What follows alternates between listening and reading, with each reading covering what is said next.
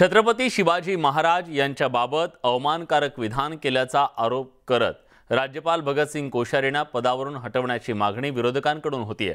दरम्यान राज्यपाल भगतसिंग कोश्यारींनी केंद्रीय गृहमंत्री अमित शहा यांना पत्र पाठवून आपली भूमिका स्पष्ट केली आहे माझ्या भाषणातील एक छोटा भाग काढून काही लोकांनी त्याचं भांडवल केलं अशी बाजू कोश्यारींनी शहांना पाठवलेल्या पत्रातून मांडली आहे डॉक्टर बाबासाहेब आंबेडकर मराठवाडा विद्यापीठात पदवीदान समारंभात राज्यपाल भगतसिंग कोश्यारी बोलत होते. यावेळी भाषण करताना राज्यपाल भगतसिंग कोश्यारी यांनी केंद्रीय मंत्री आणि भाजपचे नेते नितीन गडकरी यांची तुलना थेट छत्रपती शिवाजी महाराज यांच्याशी केली होती.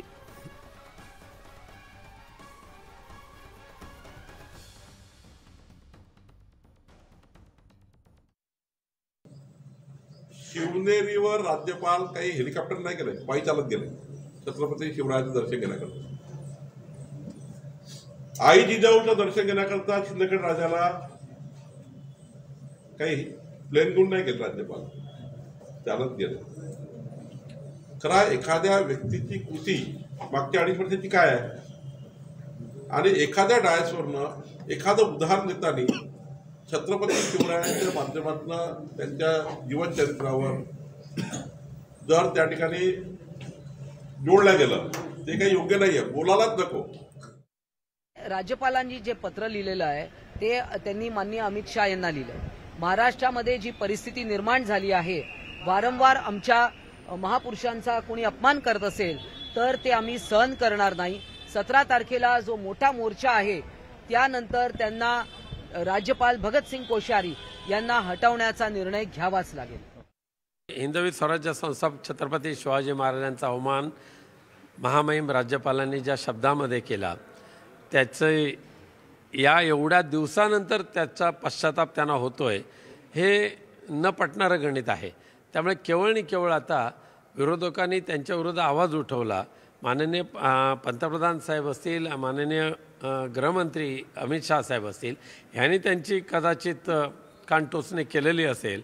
आणि म्हणून कुठेतरी सारवासारव करून पश्चाताप मला झाला किंवा म्हणा मी तसं बोललो माझा बोलण्याचा उद्देश नव्हता अशा पद्धतीचं सांगण्याचं जे ढोंगीपणा जो आहे तो योग्य आहे असं मला वाटत नाही. खासदार संजय राऊत यांनी पुन्हा एकदा राज्य सरकारवर तोफ डागली आहे. समृद्धी महामार्गाच्या उद्घाटनावर संजय राऊत यांनी बोट ठेवलंय. उद्घाटनाच्या कार्यक्रमात बाळासाहेबांचा अवमान झाल्याचं संजय राऊत यांनी म्हटलंय. तसंच सीमावादाच्या प्रश्नावरून त्यांनी राज्य सरकारला धारेवर धरलंय.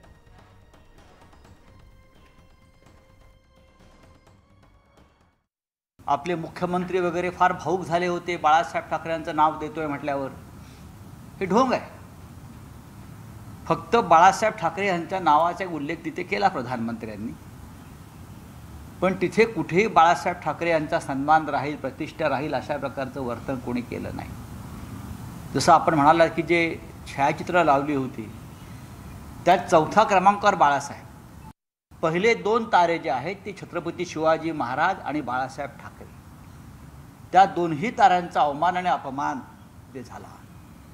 छत्रपती शिवाजी महाराज हा तर प्रखर सूर्य तारा नाही सूर्य प्रखर सूर्य. त्या सूर्यावर थुंकणारे त्या व्यासपीठावर होते. ताऱ्यांच्या कशाला गप्पा मारताय?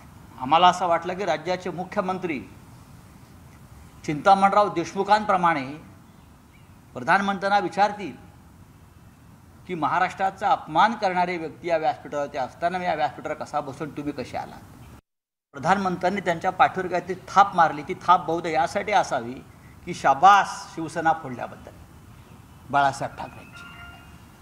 याबद्दल थाप होती का? ती पाठीवर शाबासकीची थाप होती. जे औरंगजेब अफजल खानाला जमलं नाही जे आम्हाला जमलं नाही तो तुम्ही खंजीर खुपसून दाखवला.